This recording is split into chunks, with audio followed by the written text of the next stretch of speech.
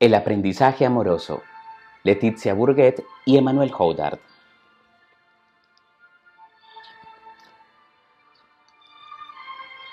Había una vez, en un país lejano, una hermosa y encantadora princesa que esperaba a su príncipe azul y un valiente príncipe que buscaba a la princesa de sus sueños.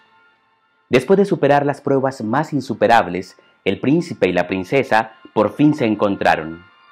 Desde la primera mirada supieron que eran el uno para el otro y que nunca nada podría separarlos. Fueron muy felices y tuvieron muchos hijos. ¿Y? Luego tuvieron un palacio donde podían hacer lo que querían.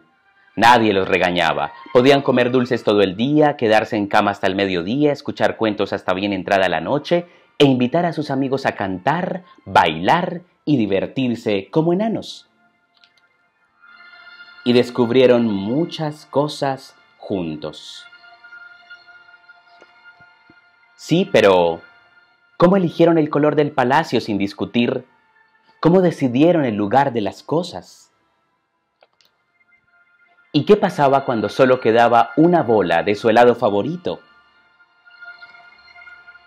¿O cuando no se ponían de acuerdo en el nombre que pondrían a sus hijos?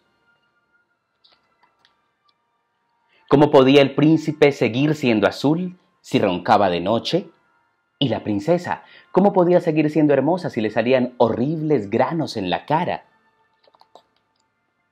O cuando una urgencia orillaba al príncipe a desahogarse en un árbol, y cuando el vientre de la princesa grande y redondo le impedía usar sus vestidos de cintura de avispa, o cuando los zapatos del príncipe olían a queso, y cuando la princesa se le escapaba un ruidoso aroma a pesar de todos sus esfuerzos por contenerlo. Y además, ¿cómo hacía la princesa para no sentirse sola cuando el príncipe se iba muy lejos para combatir monstruos? Y cuando él no advertía que ella se había puesto guapa solo para él?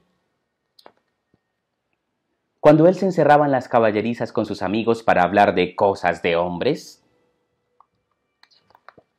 Y el príncipe, ¿cómo hacía para permanecer valiente y gallardo cuando la princesa bailaba con otro? Cuando ella no prestaba atención a sus hazañas. O cuando susurraba y se reía con sus amigas mientras lo miraban. ¿Cómo pudieron seguir amándose a pesar de todo?